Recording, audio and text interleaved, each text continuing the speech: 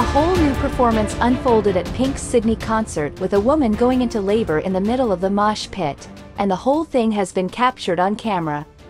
The singer called pause at her Allianz Stadium gig, halfway through singing our song, with the footage picking up after she realizes concertgoers signaling to her that the pregnant fan was wheeled away by a medic.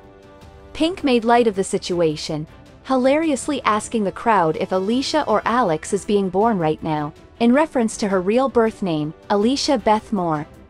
Her comedic delivery didn't end there. She joked she didn't feel like everyone should be looking at the woman, and that she needed some privacy.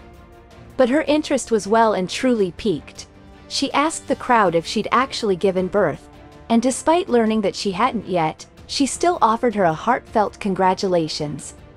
Pink did express shock that her highly emotional tune our tune was the one to apparently induce labor, quipping, I thought it would have been get the party started or never gonna not dance again.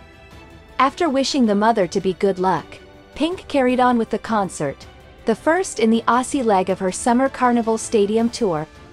One thing for sure about Pink's gigs is that fans are always gonna make it a wild, wacky and surprising time, for instance a fan tossed her mother's ashes on stage during one of her gigs last year.